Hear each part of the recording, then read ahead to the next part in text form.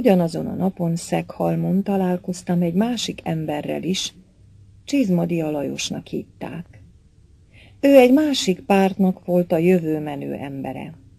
Érdekes, hogy az ilyenfajta emberek úgy sűrítettek akkoriban a falukon, mint Ausztrália kutatók a dzsungelben.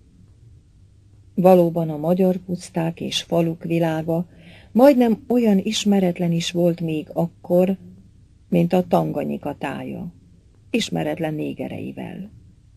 Csak az adószedők és a csendőrök ismerték. Csizmadia Lajos el is jött velem vésztőre, és ott hált. Másnap ültünk az asztal mellett, s azon ott voltak egy halomban a kéziratok. Nézte őket, s azt mondta, hogy ő nem ért hozzá, de van a pártnál, illetve a lapjuknál egy fiatal tanár, s mivel az is szokott ilyeneket írni, bizonyosan ért hozzá. Megpróbálja, ő levisz neki párat belőle, jó? Kettőt kiválasztottam neki, vigye. És levitte. Leírtam magamnak újra a két verset, oda tettem a többi közé, s arra gondoltam, itt az idő, fölöncsípni a szerencsét a hónapossággal.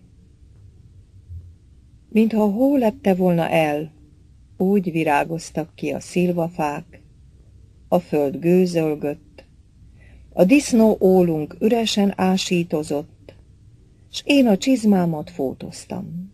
A kérgit kellett összevarnom, mert szétrepett. Munkába még jó volt akkor is, ha én barmoltam össze. Szomorú voltam nagyon, mert öt birkámat el kellett adnom, hogy élni tudjunk, s hogy Piroskának orvosságot vehessek. Fazokas vette meg az öt birkát. Maradt tizenöt. Tudtam, hogy végül mind el kell adnom, mert már nincs megállás. Mégis, szinte beteg voltam bele hónapokig, hogy az ötöt eladtam. Mintha az egész gyermekkoromat, múltamat, közdelmeimet dobtam volna el darabonként magamtól, úgy éreztem. Anyját, nagyanyját, szép anyját én neveltem a birkáimnak.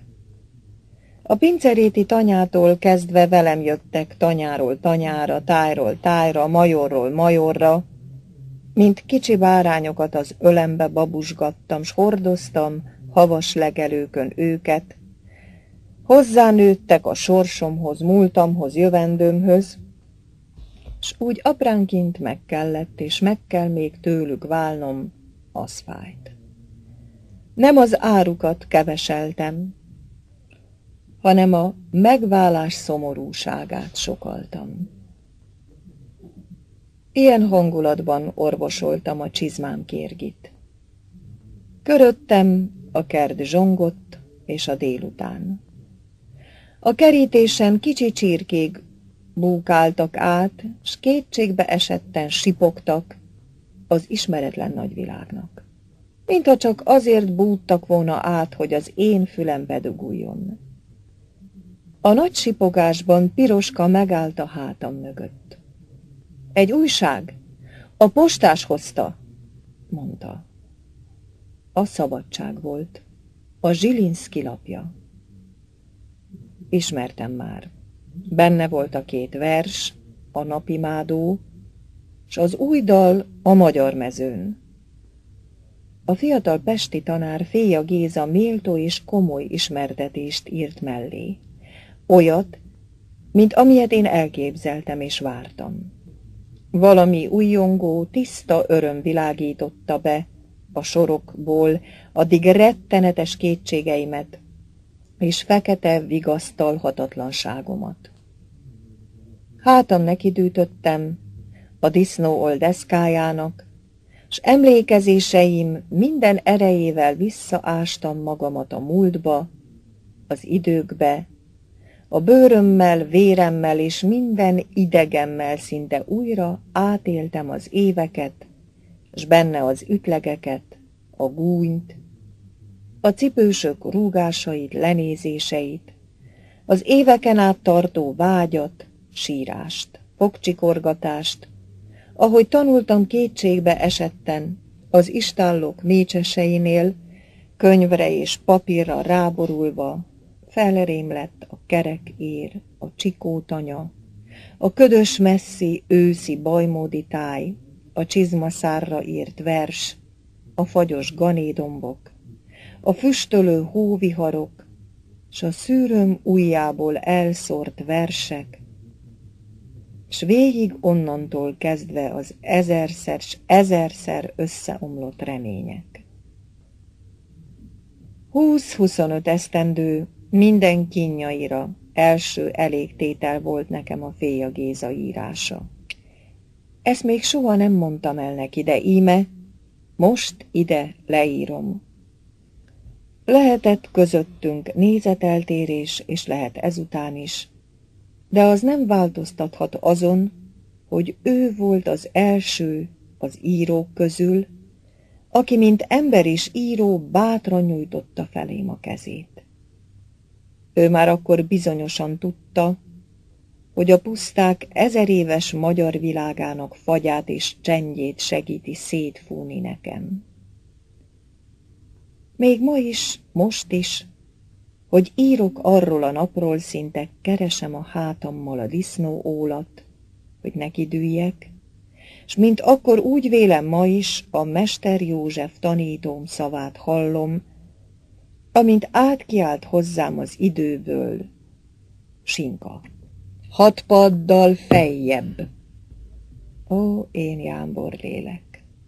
Akkor még nem tudtam, hogy a szellemi cipősökkel még csak ezután kezdődik az igazi küzdelem, s nem csak az első padért, hanem az életért, halálért.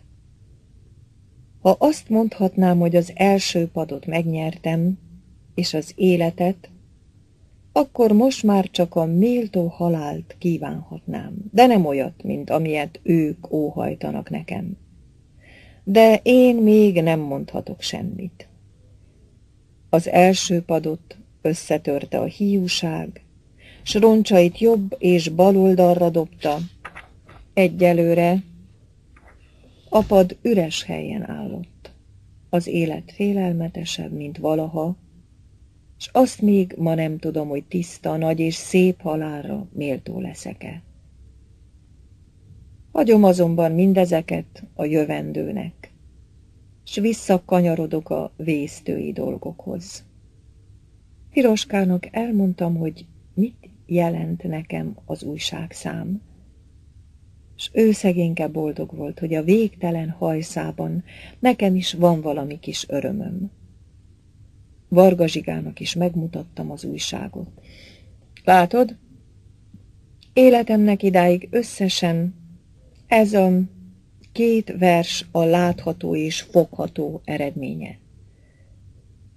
És Zsiga igazat adott. A fiatal tanító, Rácz József meg elvitte az úri kaszinóba a hírt, hogy én, az a nihilista napszámos mit csinál. Később hallottam, hogy egy 900 holdas földbirtokos fia azt mondta, mikor elolvasta ő is a két himnuszt, hogy annál szebbet talán még ő se tudna írni. Gondolom úgy számított, hogy aki földbirtokos, azelőtt nincs lehetetlenség. Ha ma elhatározza, hogy ő író lesz, holnap már szól a parádés kocsisának, s négy lóval úgy behajtott az irodalomba, hogy még az úri asszonyok lapja is megnyalja a száját. Bizony nem úgy van ám az, hogy az úri kaszinó alul maradjon egy napszámossal szemben.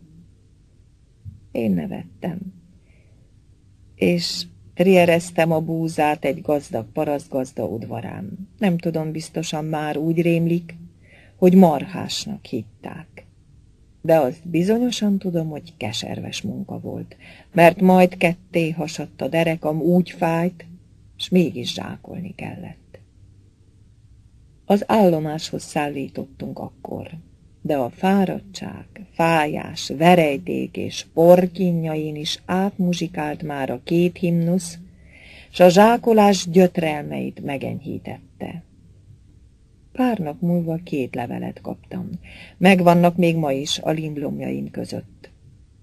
Az egyiket Féja Géza írta, s kérte, hogy küldjek be többet az írásaimból.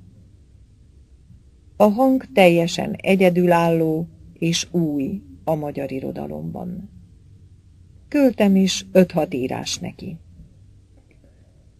A másik levelet szintén Pestről kaptam. Épp fenn volt Pesten Szabó Pál is, onnan írta. Nagy örömmel üdvözölt, s írta, hogy épp együtt vannak féjával, s hogy olvasta a két verset, de nagyon fél attól, hogy nem tudom majd olvasni, mert a két himnusz annyira tökéletes és annyira szép. Kért, hogy pár nap múlva menjek át hozzá ugrára. Addigra otthon lesz. Okvetlenül látni akar. Így nyílottak ki lassan a messzeségek. Ami az idők hamujában aludt és hamvat addig, sorsom s reményeim szebbik része egyszerre valóság lett. Feltámadt, s úgy körözött köröttem, mint legkedvesebb lepkéim, a kék pillangók. Ahol orosiban a tökös laposnak a legfeneke van, s ahol kifut belőle a hosszú foki csatorna, két felé ágazik a köves út. Az egyik zsadány fele, a másik meg a geszti gróf birodalmán át, mezőgyán felé fut, s e két felé futó út ölelőjében egy új ganédomb állott és gőzölgött. Nem valami kisasszonyoknak való illata volt, az bizonyos. Egy hónappal elébb cserepesből hordtuk oda. Itt dolgoztam én napszámosként, mikor bőcsibe akartam beállni hónapos juhásznak. Szóval gőzölgött a föld kenyere, de én azért a kerékpárt mellé támasztottam, jó ugrás volt bizony oda vésztő, és úgy gondoltam, hogy egy kicsit kitátokom magam. Útban voltam ugra felé. Benéztem gabonásba is. Arany János rokona éppen dögöt nyúzott, és sopánkodott, hogy mindig ott szakad a madzag, ahol víkony. Fazokasban is jó adag volt abból a sopánkodó hajlamból, ami Arany Jánosban is megvolt. Csak hogy fazokas valóban szegény volt, és nem kellett neki játszania, hogy nincs. No, de menjünk csak ugra felé. Zsadányon túl a szemhatárig egy síkatáj hatalmas legelőkkel. A legelők fölött bíbicek ríttak, rajta birkák legeltek, és szamarak kaszinóztak. Lám, kaszinó mindenfele kerül. Ezen a tájon pásztorkodott egykor sok régi ismerősöm. Buzgány, az öreg, a farkas arcú, az alacsony tömzsű martonyok, a fiatal gyócsképű szakál, aztán cibere, a vén Trászom Priszon, fiatal korában valamikor az én ipamat, Pap Mihályt is sokat verte itt az őszi eső. Ahogy a hátam mögött elmaradt a táj, szinte azt véltem, hogy kinőnek a gyebből mind a régi emberek, s integetnek, hogy el ne felejtsem őket, s az emléküket a folytonosan távolodó és folytonosan temető időben. Valóban, ha az ember egy olyan nagy árvatájon végignéz, önkéntelenül az jut az eszébe, hogy az ember nem másért születik, csak azért, hogy legyen az időnek kit eltemetnie. Mikor megérkeztem Szabó Pálhoz, ugrára, a házból kijött egy totemarcú ember. Azonnal megismertem. Na, ez lesz az a Szabó Pál. Én Sinka István vónék, mondtam neki. Gondoltam mindjárt cimbora, mondta ő. Így, ahogy látsz. Én meg Szabó Pál vagyok. így találkozott a független szíkfűszedő, meg a nihilista napszámos, tíz évvel ezelőtt azon a tájon, ahol a körös zugásával szatmári, szilágysági és bihari parasztok vonultak századok előtt csanát felé, s a sipkájukban bizony nem diót vittek. Másnapig maradtam Szabópálnál. Emlékszek rá nagyon jól.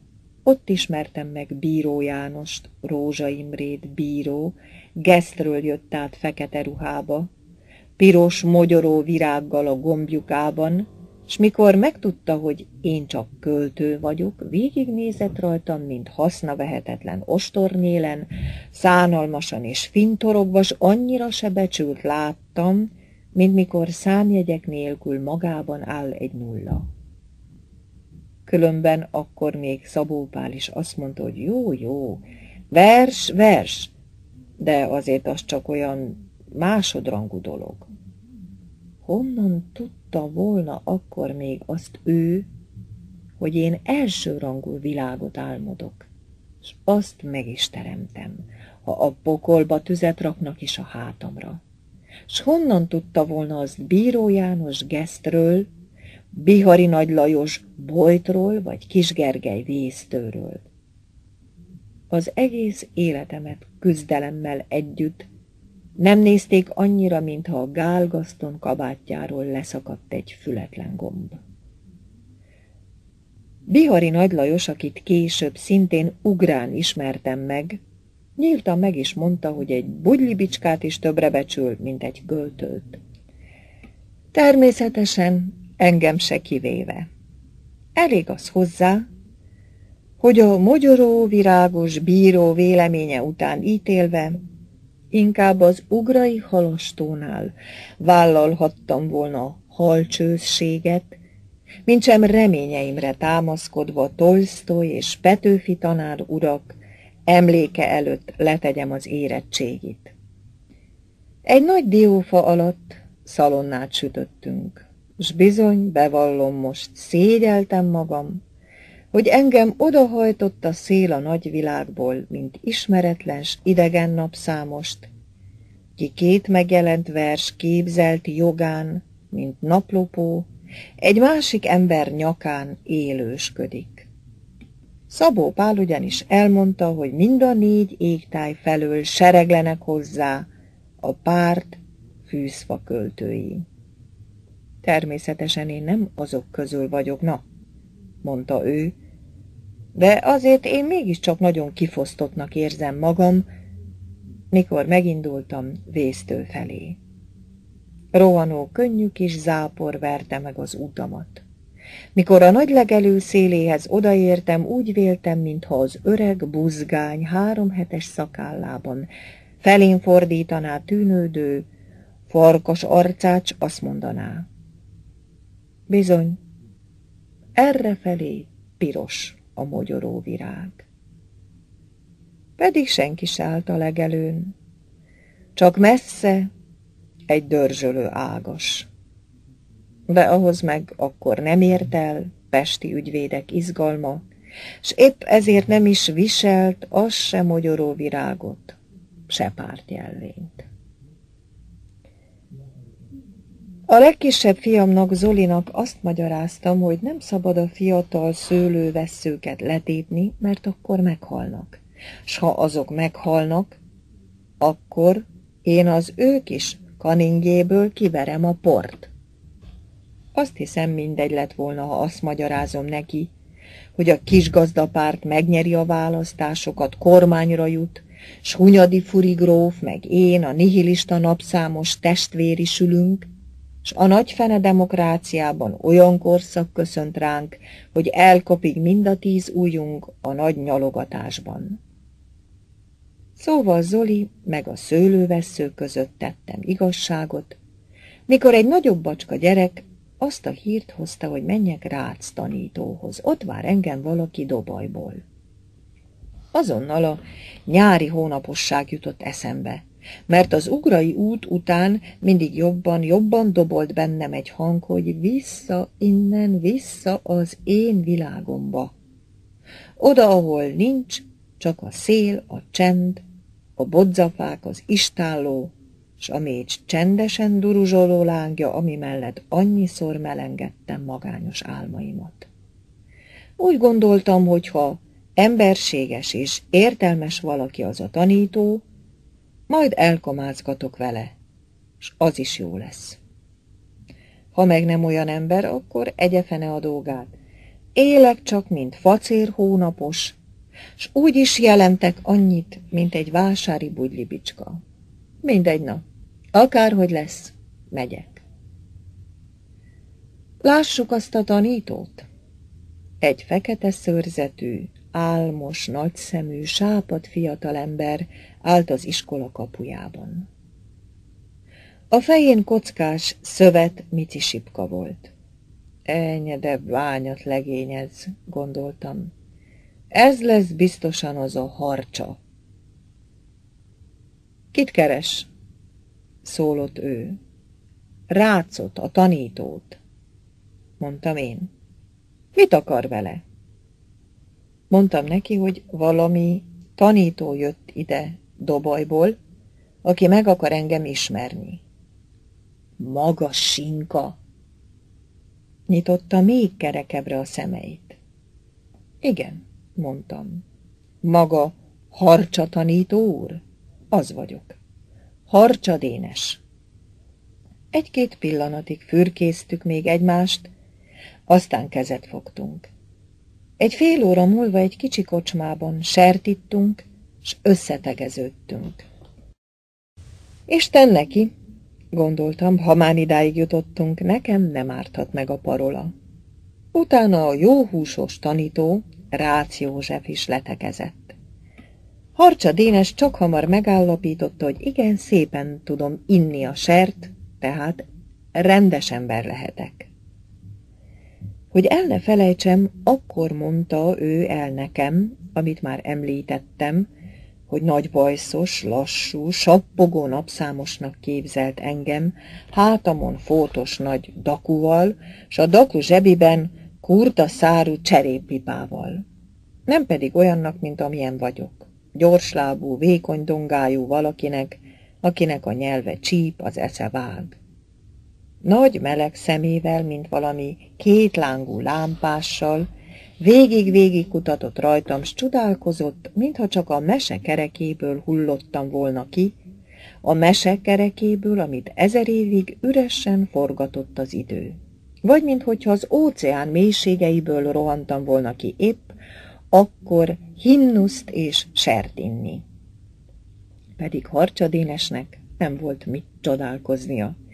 Bizonyára ő is nagyon jól tudta, hogy az óceán az idő, óceán a nép, s óceán a szenvedés és a halál e tájon, s hogy a táj és a nép elmondani és elkiáltani valója nagyobb az óceánnál. Tehát valakinek onnan kell jönnie a legnélyebbről, sorsban és életformában, aki kiáltani tud. Csak az lehetett Pötyögős neki az egész dologban, hogy én vajon nem csak sert inni jöttem-e.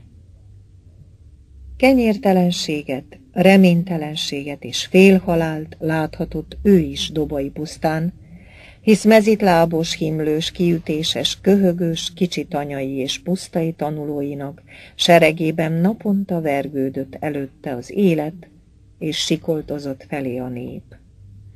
A ruhátlanság és kenyértelenség miatt napokat mulasztó, kicsin nebuló, suttogó kis panaszaiban és mentegetőzéseiben is az könyörgött neki. A pártot és lámcok közé átkozott óceán egy cseppje.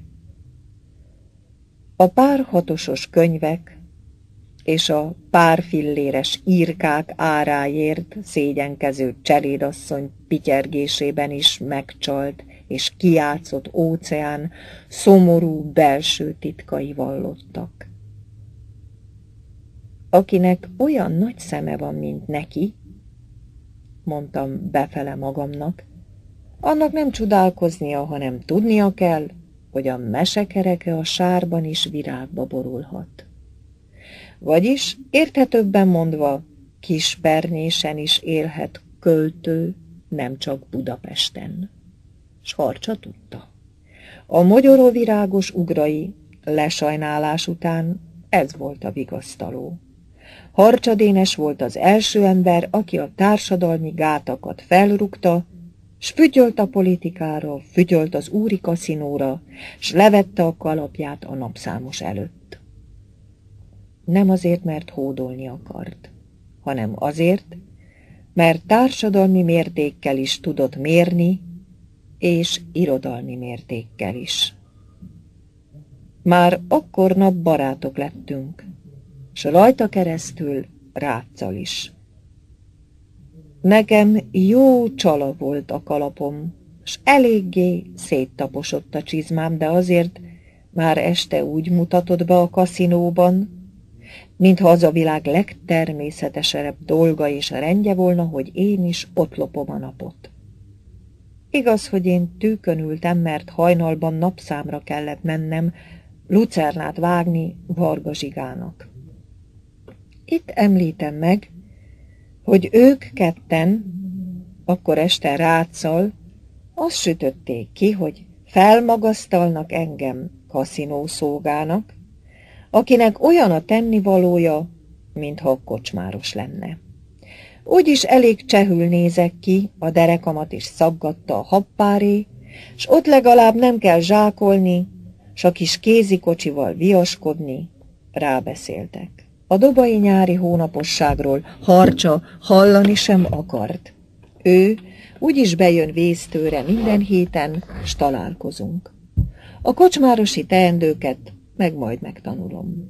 Így lesz, ezt mondta. És úgy lett. No, de elébb én még lekaszálgattam a Varga Zsiga lucernáját, a tengerit is megkapáltam. Ugrát is újra megjártam. Szabó Pál ugyanis, mikor először nála voltam, újra meghívott. Nagy gyűlése készültek, ugyanis ugrán diadalkapuval.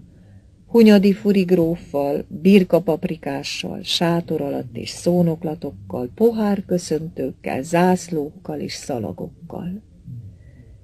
Hogy természetesen az ő vendége leszek, mármint Szabó Pálé. Ne törődjék tehát vele, ha nekem ilyesmire nincs is pénzem. Micsoda beszéd az, menjen csak el. Nem csak napszámolni kell, meg verset írni, hanem az emberek közé is el kell menni. Bizony, nagy ügy az. Az akkori hetekben a szabadság kettessével, hármassával hozta a verseimet. Párizsban a kivándorolt magyarok lapja is hozta. Sőt, a Párizsi Magyar Házban előadást is tartottak róla, Simándia megszállott felvidéken, Féja Géza meg Debrecenben a Déri Múzeumban tartottak előadást, itt meg itt él egy napszámos, s ilyet meg ilyet is csinál.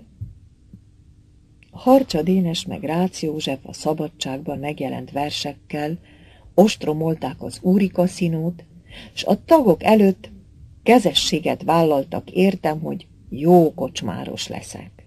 Hogy nem baj, ha a töknek tesznek a tetejére kemény kalapot, azt is hajlandó leszek meg nagyságos urazni, hogy ők még ezért is jót állanak. Szóval ez azt jelentette, hogy nem akarom magam egyenrangúnak közéjük odatolni, hanem csak kaszinó szóga leszek, akinek ők parancsolhatnak. Jaj, bizony, mert ez a legfontosabb. Már most megmondom, hogy addig a három hónapig, amíg ott voltam a kaszinóban, mint kimérő kocsmáros, nem igen lehetett rám panasza senkinek, mert igazán nem éreztem velük magamat egyenrangúnak. A kívánságát meg minden kaszinótagnak, ha bár alkalmazkodni soha nem tudtam, a legszorgalmasabban teljesítettem. A munka erkölcsének az ABC-jét nekem különféle villanyelekkel, jegyezték fel a hátamra már régen, zsenge gyermekkoromban. Tudtam, hogy szóga vagyok, hát szolgáltam. Nem elnöknek mentem én oda, Isten őrizzen, hát nem igaz. Hogyha Dobajba mentem volna nyári hónaposnak, pedig, ha őszinte akarok lenni, az én gusztusom inkább arra fele hajladozott. Nem azért, mintha a csontjaim mindenáron kívánták volna a hajladozást, hanem azért, mert ott a verejtékben és fájdalomban is dal születik, s a dalban benne sajog az élet, amit semmiféle nyári hónaposság se győzött még le soha. És azért is inkább mentem volna oda, mert az úri kaszinót sereivel, üvegjeivel, csanakjaival és kérlekalásaival nem az én szabad és kemény világomhoz szabták. Nagy csörömpöléssel indult meg hát a kocsi. Hajnal volt és vasárnap. Ugrára mentünk. Tíz óra lehetett, hogy odaértünk. A sátor már állott, és csak ugyan zászlók lengtek, és szalagok lobogtak körül rajta, és legyek. Mert az ugraiak egy kalap alá, azaz egy sátor alá vonták a húst is, a politikát is, neki legyen mondva fúri grófot is. Nem mondom, a vesztőiek dörmögtek egy kicsit a gróf miatt. De megmagyarázták nekik, hogy örüljenek neki, hogy van egy olyan gróf, aki egyé lényegül ím a néppel, s képes ide messzi ugrára jönni, hogy szavát hallhassa. S a legyek között megegye a paprikás húst, széttaposott és megcsúfolt bodzabogrok és növendék akácfák csüktek a sátor körül. Volt szívük az ugraiaknak tönkretenni őket. Igaz, hogy a mérhetetlen időben azok ráérnek nőni, törni, sajogni, hisz lám, megtaposott és megcsúfolt bokor a nép is, és mégis mindig oda kínálja magát. A sátorban nagy kocsmalócákat szereltek, s azt, amelyik mellé majd a gróf ül, fehér abrosszal letakarták. A többi jó volt csak úgy kopaszon, Szabó is előjött köszönni, megérkeztek a gesztiek is Bíró Jánossal. Neki újra piros virágja volt, s újra csak nézett rám, mintha azt mondta volna, na, megint itt vagy te, hogy is hínak. A diadalkapu is ott állt már, és körös szakál felé nézett, mint egy odakényszerített, szomorú nagy lyuk, kit arra kárhoztatott a bolond véletlen, hogy rajta átvonuljon B a gróf ugrára. És körül mindenütt emberek állottak, az égen felhők úztak, Szabó Pál itt-ott elővillant, aztán lassan megtörtént a beteljesedés.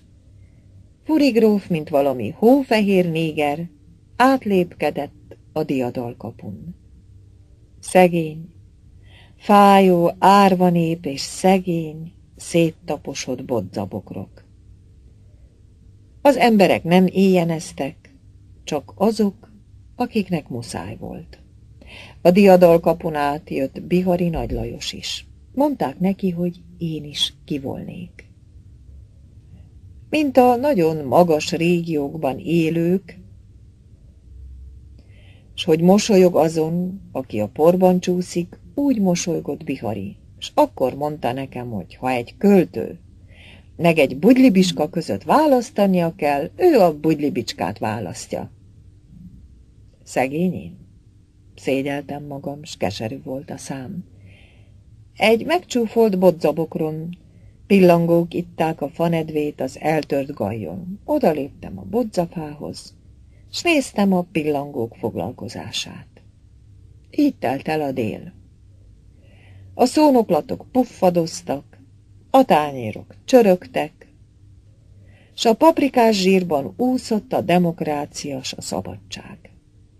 Ettem volna én is, igaz, de nem azért, hogy a demokrácia zsírosodjon, hanem azért, mert akkor még nem ettem. Ám szégyen, nem szégyen, nekem nem volt pénzem. A zsákolással és kaszálással keresett napszám otthon kellett. Nem arra való volt az, hogy a furigróf tiszteletére elpengessen borra, meg paprikásra. Gondoltam, hogy majd csak rám kerül a sor, hisz vendég vagyok, vagy mi a fene. Nem kellett volna nekem diadalkapu, csak egy kis emberség. Igaz, akkor én még csak aljanétnek számítottam az ugrai nagy kavargásban. Néztem a dőzsölő pillangókat, s mosolyogtam, s azt gondoltam magamban, vár csak ugra. Egy napig tart minden lakodalom. A végén az történt, hogy az egyik kocsis odajött hozzám, s felajánlotta, hogy maradt pár falat kenyere ideadja. Neki se volt pénze, s tudta, hogy nekem sincs. Felültem a szekérderékba, rákcsáltam a kenyeret, a kocsis mellém ült, arról beszélgetett, hogy nagy darab földet befészkeltek kolompírral, s ha jó termés lesz, terem annyit, mint a dög. Szombati Pistának hívták a kocsist. Évekkel azelőtt ő is haládi úrnál cselédkedett. Ismertem nagyon jól. Ő a világért se volt kisgazdapárti. Akinek van füle a hallása, értse meg jól, ő kocsis volt. Varga Zsig, amikor megtudta a költő és a bugylibicska értékelését és az én vendégeskedésemnek, hihetetlennek tartotta. Csak jó idő múlva mondta egyszer nekem, hogy igen, hihető a dolog. Ki tudja, lehet, szegényt valami tapasztalat rávezette. Na de hiszen voltam én ugrán, aztán többször is.